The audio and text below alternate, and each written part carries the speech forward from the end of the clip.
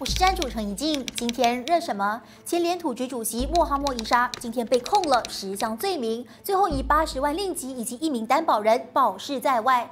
那之前就提到了那位自身难保的乌统主席阿莫扎西今早出现在法庭，但是其实今天还有另外一个人物，那就是联土局 Felda 前主席莫哈默伊沙。他今早以一身浅绿色的巴迪服装现身法庭。